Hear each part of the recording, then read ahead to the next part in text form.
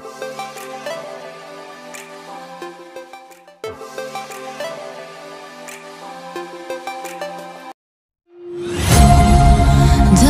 I've been tempted by the darkness,